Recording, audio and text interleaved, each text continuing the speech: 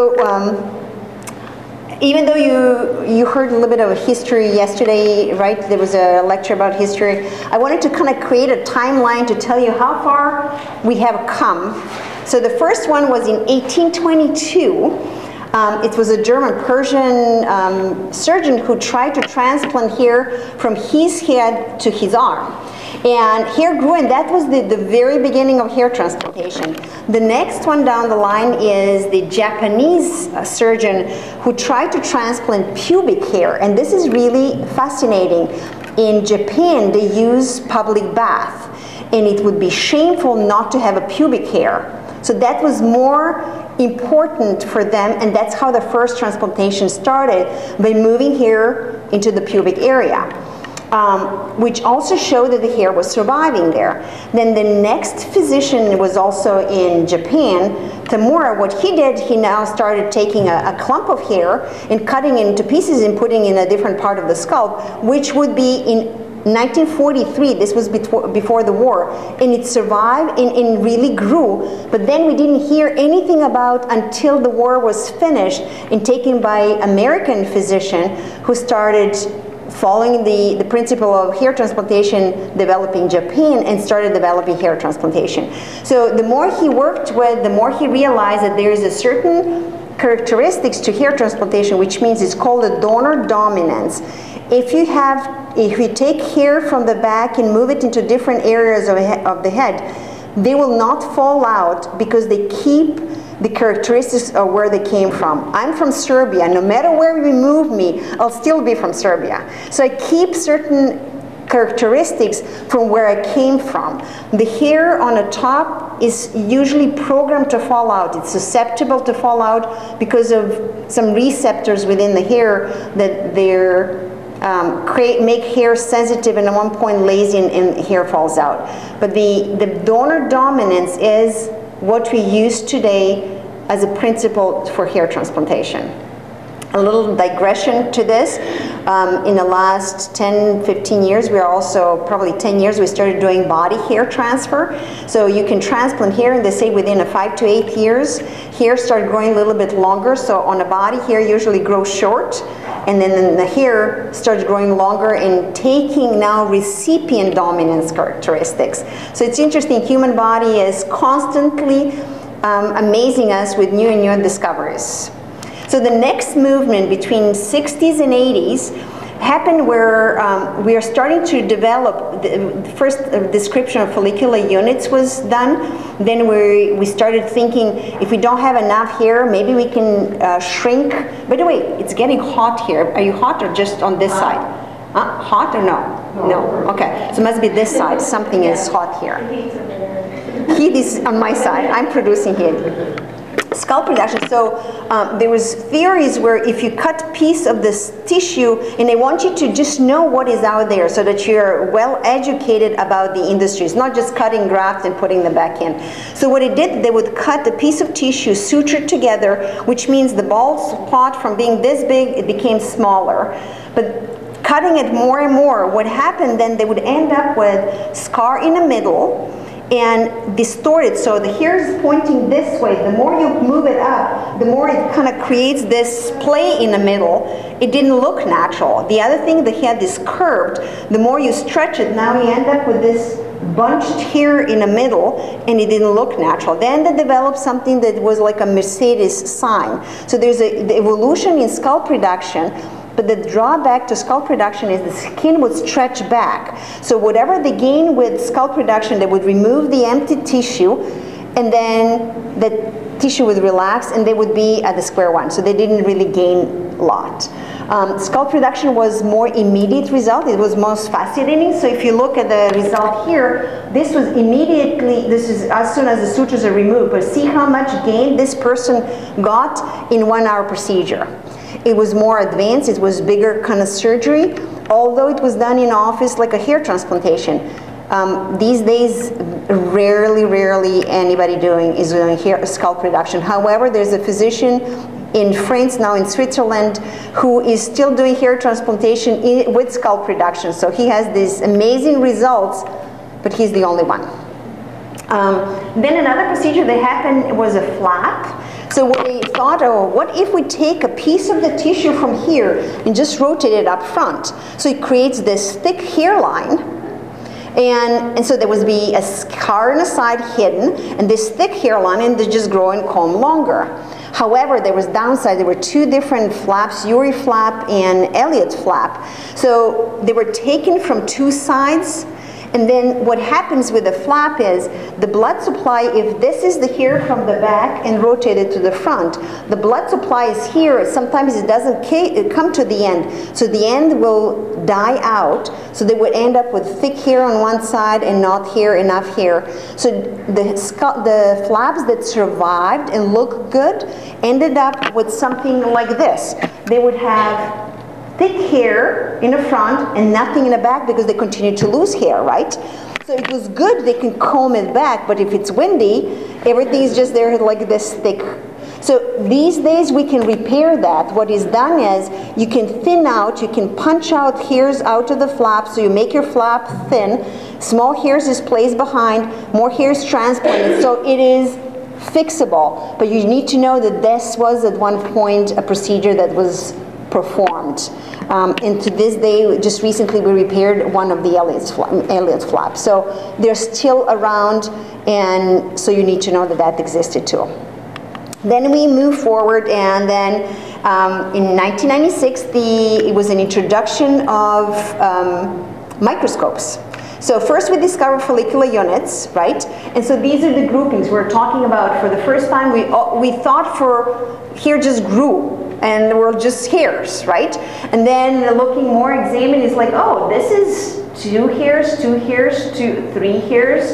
And so, oh, there's a groupings, and then that is where they discover that there's a unit that comes with a sebaceous gland and how grafts survive better, and we can recreate more natural look if we respect what grows naturally, which is in follicular units. Then we have microscopes now. So 1996, we're 2004, almost. Uh, 2014, I'm sorry, almost, we have to now everybody switch to microscopes.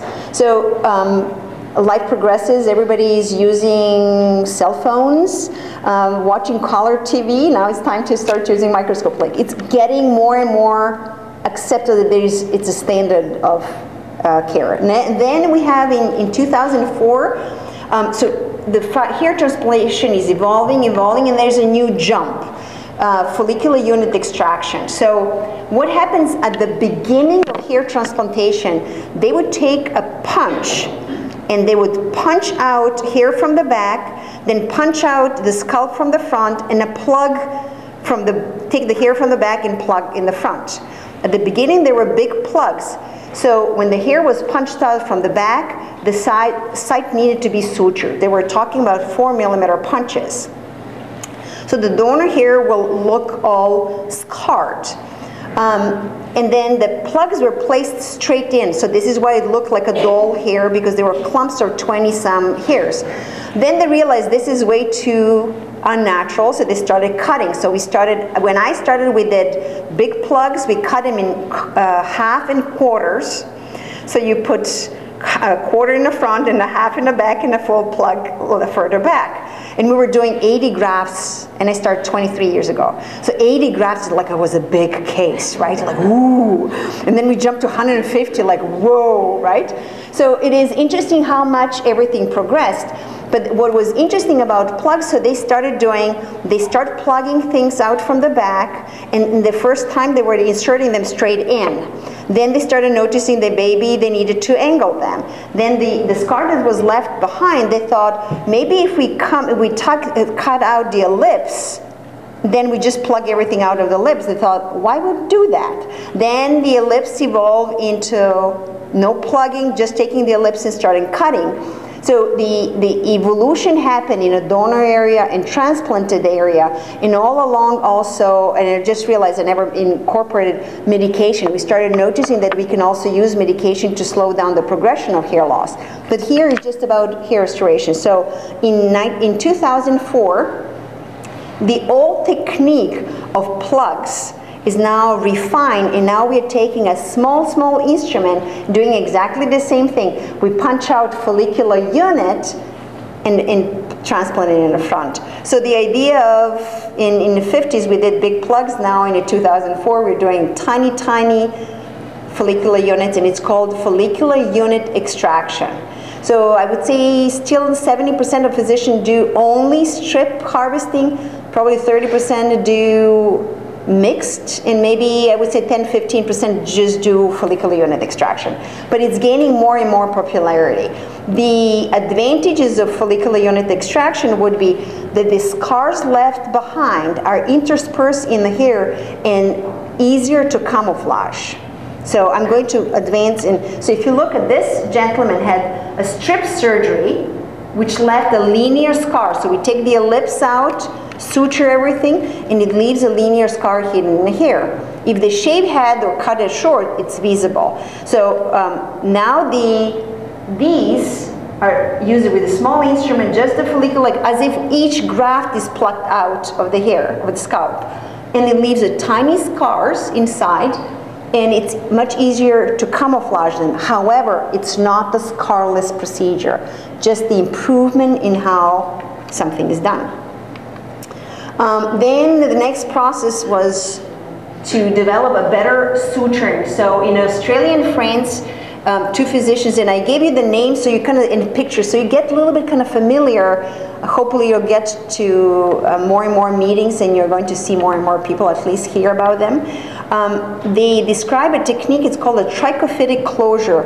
What happens is if you take a strip. So let's say this is my tissue from the back. We take this tissue out and suture these two sides together and leaves a tiny scar inside, right? So what happens is now the gap in between these, so I'm going to, the gap in between these is going to be filled with a scar. The trichophytic closure does something where this side is trimmed and then the sides are slightly overlapped. So when the scar is forming, hair grows through the scar, so it becomes more invisible. So this example here shows where the scar is not visible because the, the hair is overlapped and, and grew through the scar. However, even with the best surgeon, best technique, human body is unpredictable. We not, cannot guarantee that the, even trichophytic closure is going to create a closure without scar. Um, but it is important to know what is out there and if they ask you questions. So at the very end of 2013, we end up with hair cloning. What hair cloning does is we take the stem cells from the um, hair, put it in a petri dish, and, and grew hair. So they did the testing on our mice. So there's a little patch of hair, I found this cute picture that was associated with hair cloning, where they're saying that they, they're still figuring out how to make hair grow as natural because it, they, it grows in clumps. It's not refined yet. Every year we thought we're going to have breakthrough, and this has been 15 years still waiting for a breakthrough. Um, another thing, platelet-rich plasma, we are now using patients' blood we spin it and separate portion of blood that contains a growth factor and inject back into the scalp to promote um, hair growth in, in, in, better healing. So I'm just giving you some terms so that you know what is happening in the industry. Um, Dr. Umar was the one that started the body hair transplantation. Go research him, fascinating results. Um, I am amazed because people who had burn scalp and have no donor hair, he was able to take hair from the body and restore and make them look normal. And, and I'm always passionate about what we can do to help people. Uh, then we also have uh, robotic surgery. This is new since 2011. A robot is um, now available that can go in and take hairs individually. Every, this is just a tool. Every procedure, no matter what kind of tool you use, you need to know quality grafts, whether they're how you're trimming them under the microscope. So the robot just to dissect you still have to extract and you still have to uh, clean them. You still have to place them. So the basic principle stays the, stay the same. I just want you to know within the evolution what happened and, and the most important thing, the central portion of this slide is ISHRS, it's International Society for Hair Restoration Surgeons. It is the um, organization that was uh, founded in 1993 with the mission to promote hair restoration industry. So it's a great uh, organization. They have yearly meetings. We have meetings there. So um, when we, you become a member, you get um, uh, their Forum, which is a quarterly uh, journal. Great stuff to read, learn. Um, I love what I do and I and like um, sharing the passion and this organization is really very friendly and in always promoting growth in, in expansion, very supportive. So that's all I have today for the um, re, uh, history hair restoration. Any questions?